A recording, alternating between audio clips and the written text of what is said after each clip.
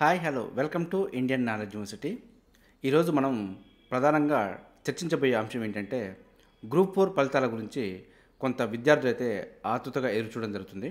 దీని గురించి నేను పూర్తిగా కొంత సమాచారం అయితే తెలుసుకునే ప్రయత్నం చేశాను. అయితే మనకు గతంలో టీఎస్పీసీలో రిటైర్డ్ అయిన ఉద్యోగి మనకు కొంత పరిచయం ఉండే. సో దాని కారణంగా మనం నిన్న అతన్ని కలవడం జరిగింది. సో దీనిపైన కొంత వివరణ అడిగితే అతని మాటలో అయితే కొంత స్పష్టత రావడం జరిగింది. సో దాన్ని మీకు షేర్ చేయాలనే ఉద్దేశంతో మీకు ఈ వీడియో రూపంలో చేయడం జరిగింది.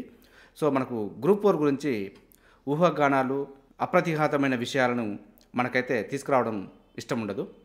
కాబట్టి మీరు చూడండి ఒకసారి మన ఛానల్లో గ్రూప్ ఫోర్ గురించి ప్రామాణికమైన సమాచారం ఉన్నప్పుడు మాత్రం మీకు మన ఛానల్లో గ్రూప్ ఫోర్ గురించి అప్డేట్ అయితే రావడం జరిగింది. సో మనకు ఊహించి అక్కడ అది ఇక్కడ ఇది ఆ విషయం ఈ విషయం నేను ఫోన్ చేశాను నాకు వాళ్ళు చెప్పారు వీరు చెప్పారు వాళ్ళు రిప్రజెంట్ చేశారు వాళ్ళు మెమోరండం ఇచ్చారు. ఇలాంటి విషయాల మీద అయితే వాళ్ళకు పూర్తి క్లారిటీ అయితే రావడం జరగదు. సో నాకు క్లారిటీ రానప్పుడు ఈ విషయాల గురించి మీకు షేర్ చేసి మీ అమూల్యమైన టైంని వేస్ట్ చేయడం నాకు ఇష్టం ఉండదు. సో మన ఛానల్లో ఏది ఉన్నా కూడా పాయింట్ టు పాయింట్ క్లారిటీగా మీకు అవసరమైన విషయాలు మాత్రమే అందుబాటులో ఉన్నాయి. కావాలంటే ఒకసారి చూడండి మన ఛానల్ని మీరు ఒకసారి మన ఛానల్ని చెక్ చేసినా కూడా మీకు మన దాంట్లో అనవసరమైన విషయాలు ఊహాగానాల వార్తలకు సంబంధించిన ఏమైనా ఉన్నాయో ఒకసారి మీరు చూడొచ్చు. ఇది మన ఛానల్కు సంబంధించి కొంత సమాచారం. అయితే మనకు రిటైర్డ్ ఎంప్లాయీతో మాట్లాడినప్పుడు ఎలక్షన్ కోడ్ వచ్చింది కాబట్టి మనకు టీఎస్పీఎస్సీ నుంచి ఫలితాలు రావడానికి కొంత ఆలస్యమయ్యే అవకాశం ఉందని చెప్పి పేర్కొనడం జరిగింది. ఇందులో భాగంగా నేను టీఎస్పీఎస్సీ ఒక రాజ్యాంగబద్ధ సంస్థ కదా దానికి స్వతంత్ర అధికారాలు ఉంటాయి సో అది రిలీజ్ చేయడానికి ఎవరి పర్మిషన్ ఎందుకు అని చెప్పి నేను ప్రశ్నించడం జరిగింది. దీనిలో భాగంగా అతను చెప్పిన విషయాలు ఏంటంటే ఎలక్షన్ కోడ్ అమల్లోకి వచ్చినప్పుడు ఏ సంస్థ అయినా కూడా ఎలక్షన్ కమిషన్ యొక్క పర్మిషన్ తోటి మాత్రమే పనిచేయవలసి ఉంటుంది. సో దానికంటూ కొన్ని పరిమితులు విధించే అధికారం ఉంది కాబట్టి సో ఈ రాజ్యాంగబద్ధ సంస్థ అయినా కూడా ప్రజలకి కొంత ఆశాజనకమైన ఫలితాలను ఎలక్షన్ల సమయంలో ప్రలోభ పెట్టే విధంగా అయితే ఇవ్వకూడదు కాబట్టి దీనికి కూడా పర్మిషన్ తీసుకోవాల్సి ఉంటుంది. సో రాజ్యాంగబద్ధ సంస్థ అయినప్పటికీ ఎగ్జామ్స్ ఏమైనా నిర్వహించేటుంటే మాత్రం కండక్ట్ చేసుకోవచ్చు.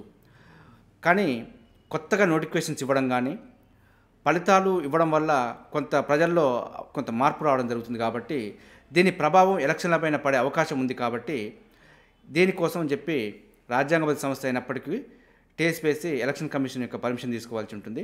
ఇలాంటి సందర్భంలో ఎలక్షన్ కమిషన్ యొక్క నిర్ణయమే తుది నిర్ణయం అవుతుంది. కాబట్టి మనకు దాదాపుగా మనకు ఫైనల్కి వచ్చి కూడా ఒక ఇరవై ఇరవై ఐదు రోజులు అయితే కావస్తుంది. సో ఇందులో భాగంగా మనం చూసుకుంటే ఇంతవరకు టీఎస్పీఎస్సీ నుంచి ఫలితాలు రావట్లేదు. అదేవిధంగా టీఎస్పీఎస్సీ మనకు ఎలక్షన్ కమిషన్కి ఒక లేఖ అయితే కూడా పెట్టడం జరిగింది. ఫలితాలు ఇవ్వడానికి పర్మిషన్ కావాలని చెప్పి. సో ఇంతవరకు ఎలక్షన్ కమిషన్ స్పందించలేదు అంటే దీన్ని ఒకసారి ఆలోచించవచ్చు. ఎలక్షన్ కమిషను ఎలక్షన్ కూడా అమల్లో ఉన్నప్పుడు ఫలితాలు ఇస్తే ప్రజల్లో కొంత ప్రభావం చూపే అవకాశం ఉందని చెప్పి పెండింగ్ పెడుతుంది కావచ్చు అని చెప్పి అతని మాటలో అయితే మనకు తెలవడం జరిగింది. కాబట్టి మనకు గ్రూప్ ఫోర్కు సంబంధించి ఫలితాలు మాత్రం మనకు ఎలక్షన్స్ తర్వాతే ఆశించవచ్చు అనే విధంగా అయితే చెప్పడం జరిగింది. ఇది మనకు ఒక రిటైర్డ్ ఎంప్లాయీ యొక్క మాటల్లో మనకు స్పష్టంగా అయితే తెలుస్తుంది.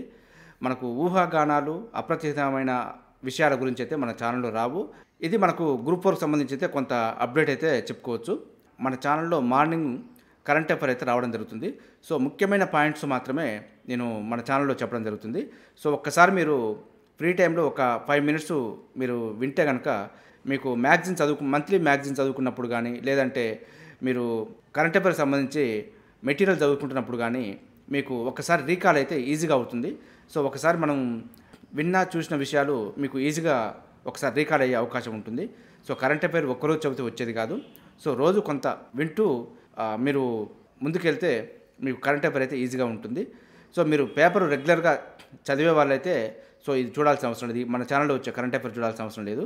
సో రెగ్యులర్గా మీరు చదవట్లేదు కొద్దిగా మిస్ అవుతుంది అనుకున్న వాళ్ళు ఉంటే మాత్రం మన ఛానల్లో కరెంట్ అఫైర్ సంబంధించి డైలీ మార్నింగ్ అయితే నైన్ ఓ క్లాక్కి రావడం జరుగుతుంది నైన్ నైన్ థర్టీకి రావడం జరుగుతుంది. సో దాన్ని అయితే మీరు ఫాలో అవుతూ ఉండండి. అదేవిధంగా మన ఛానల్లో అడ్మిషన్ నోటిఫికేషన్స్ మరియు రిక్రూట్మెంట్ నోటిఫికేషన్ సంబంధించి కూడా అప్డేట్ రావడం జరుగుతుంది.